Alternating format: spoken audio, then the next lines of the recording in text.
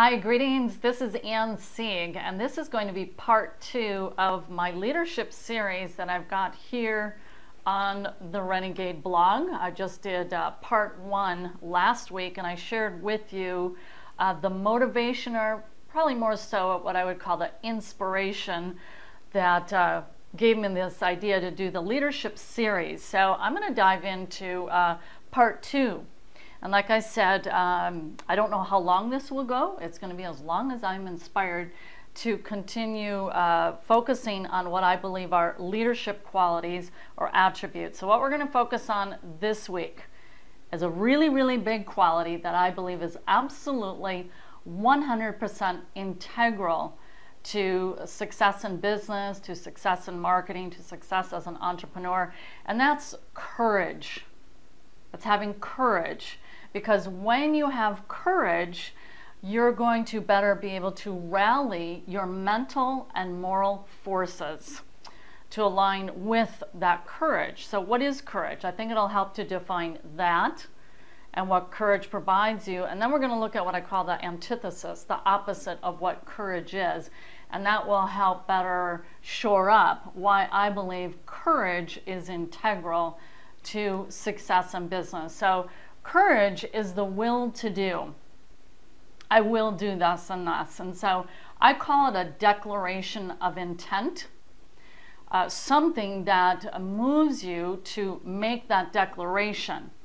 And as a result of that, which takes a lot of chutzpah, some some guts, you know, whether you make that declaration uh, to your family. And when I say declaration, it starts with you first and foremost. You're kind of like that you know, the line in the sand and I'm going to do this thing. So it begins internally as you, you do your self-talk and you, you know, something triggers and just flips you into this, I'm going to do this thing, right?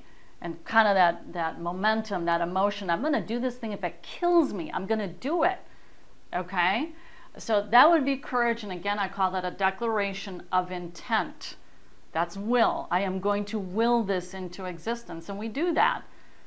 And I'm going to talk about what drives and what fuels that, but more so again, back to that declaration of intent is first to yourself, and then you find yourself maybe telling your spouse, you tell your kids, you tell uh, your parents, your siblings, whomever, that it's kind of like this my mind is made up and I'm going to do this. Okay? And, and the, the, the sense of urgency and significance that you give to this it, it's kind of like you, you throw a rock into the water. Now, some people, they throw that in and it's just like, it's a little plop, and maybe just a few little ripples come out of that when you make your declaration of intent. Others, because maybe they know of your background or they can just sense it from your emotions and your the strength of your conviction and resolve and that you're resolute you make that declaration of intent, and people are like, whoa, look out. This thing is happening. And that would be you're throwing a boulder into the water and it ripples out big. And that's what happens. You, you speak it to a sense into existence. We are designed to be creators. And part of that creative process is the use of our auditory, uh, our ability to speak it out what we want to bring into existence. So I'm going to give you a case in point of that. Um, my eldest son is my business partner, and this was back in the spring of 2011. And we were masterminding on a particular uh, plan, a marketing. Uh, it was actually very significant what we were planning to do.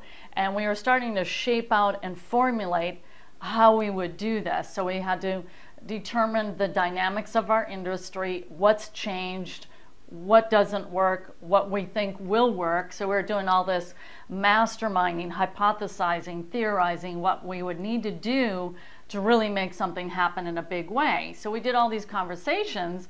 And at this time, that is when we came up with our proprietary webinar system. That was at, at that time.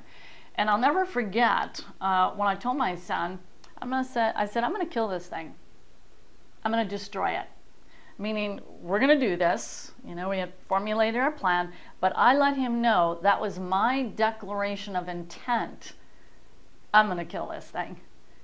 And, and I, I knew for a fact I was going to be able to do that. Now, how, how could I say that? It wasn't a crazy, you know, okay, I'm, I'm going to fly to the moon. It wasn't something insane and ridiculous like that, but it was pretty big.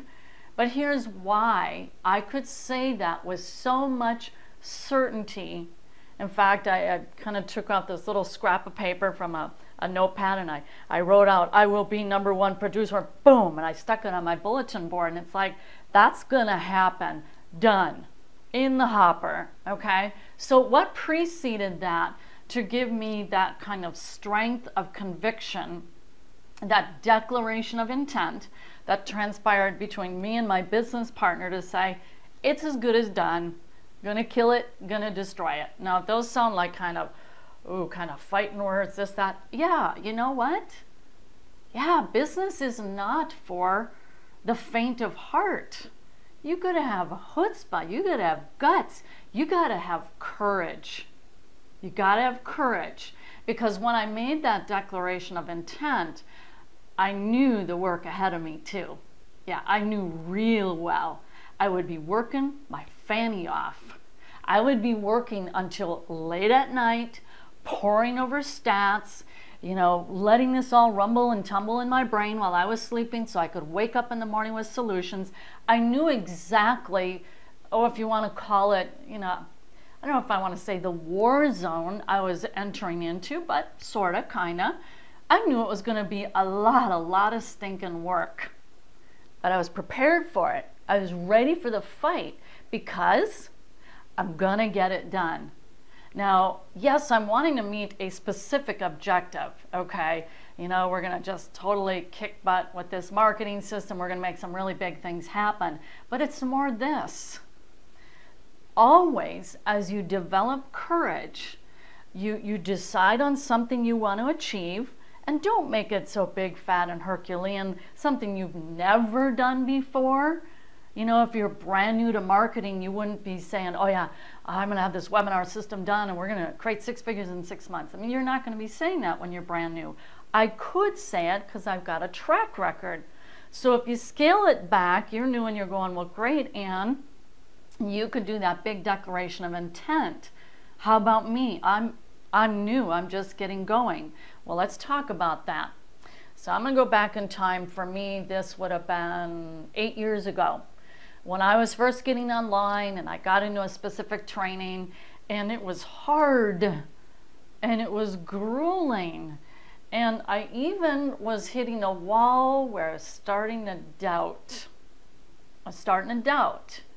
But then I had to rally my mental and moral forces to say, no, this wall, it may be there, but it's just a perception, and I'm going to beat that wall down because I've got to prove to myself I can get this done. And that's really pretty much how I look at all of it. it it's kind of like kind of like playing a game. I look at it as a game. I mean, putting together a webinar system is no way an end all be all kind of a deal at all. It's simply, well, there's that plateau. I'm shooting for it and I'm going to get her done. Why? Because there's going to be new vistas, new plateaus that I'm going to scout out and go, you know what? And now I'm onto that one. Because overall, my objective is to continually armor and equip myself, equip myself with my skills and the more I can develop those and take ownership of them, the more I can direct and control my destiny. The more I can slap on. I have a very specific one that I want a new skill set, not entirely new, but I've, I've had it and it's like this big desire. I'm going to develop this next skill. And the stronger that desire is and that intent, well, then those opportunities to develop and exercise out that particular skill set, guess what happens? They start showing up for me because I put it on notice. I want this. Now, are you noticing in this conversation, I'm not necessarily talking about money immediately because I know the money comes as a result of me stepping up to the plate. I see that plateau of a skill to learn, like, you know, for me mastering that webinar system and knocking her down. Okay, that's that's a skill. That just that just means I've shimmied up the ladder and now I can look at yet another higher vista and say, now I'm going after that one. So you start incrementally. So mine back eight years ago was a certification program. I was uh, to master the consultative selling process. I hit that wall of some self-doubt and oh, ah, I'm two three months out and ah, no, not a, I don't have a sale yet. And I could have given up. I could have quit. And I gotta say, shame on you when you do that. Because here's the worst part of it. You maybe started having some people follow you because they're watching, but then you lay down your sword and you're like, I, I'm weary. I, I thought results would come faster, so I'm giving up. And then you lost that momentum that I was working hard. I was doing my dials, I was doing the tracking, sending out my emails. I'm like, what gives? Come on, man, what gives? But I leaned into the wind because I thought, what if I give up? What if I lay down my sword and I give up? Am I willing to live with myself if I do that? And you know what? No, I'm not. Because let's get down to the deepest part of this whole thing of that declaration of intent and courage. Because isn't it funny when courage gets rallied up in a real fast way when it hits you at a biological level of survival? Now, I'm a woman, so I'm going to speak directly to the women. You know that kicks in when it comes to one of your, your children, something happening. You go into Mother Bear like nobody's business, don't you? And I would call that courage. I mean, you'd take down anybody when it comes to your kid. Am I not mistaken? Why can't we take that same innate, wired in biological responses? They happen just like that, don't they? Why can't we grab a hold of that same power, that same force that gets flipped on just like a switch without us even working or having to think about it? And why can't we take it here into our business? and and our work as a, an entrepreneur take that same energy that adrenaline the chutzpah everything that comes with fighting off those forces right and rallying in the good mental and moral forces. So let's pare it down. Where i believe it kicks in well for one is like i shared is i'm going to get it done. That kind of resolve that shows you just got it. How does that happen? Well it shapes out differently for a lot of folks. Mine, I kind of got, you know, beat down as a kid, teasing and the like, and and it hurt at the time. But inside, there was a fire starting to burn that, okay, you can take me down now, but I'll tell you what, someday I'm going to be able to resist this kind of stuff and it's not going to hurt me the way it did when I was a kid. It did something good for me, you know, taking those negative things and turning them into good. That's what happened for me uh, as a kid, the getting teased and all that kind of stuff. Uh, the other is this what will fuel your courage is just think about uh, the desire. Why are you doing what you're doing? And then from there, you're going to create what's called an intensification process. You're going to do everything you can to intensify this desire that you have. And I hope you all have some kind of desire. I'm guessing you do. I want to share a quick little story and then we're going to give this a wrap. I was just speaking with a gentleman yesterday from the UK. Absolutely wonderful gentleman, so gracious. He had he had such an attractive personality. It was just so it was such a pleasing personality, wonderful, pleasing disposition. But he, he's kind of going through this transformational phase right now, and it was really interesting. He said, oh, I'm sorry I'm for sharing so much and being so candid. I said, No, I love it. Well, and, and he said how, you know, I, I had some of these feelings some years ago, and, and they're kind of being re- resurrected again. And he said, You know, I, I, had all this enthusiasm and this dream and ambition. It was several years ago. I was sharing it with someone. And I said, I'm going to influence a million people's lives. And then you know what this other person said to him? They said, That's not going to happen.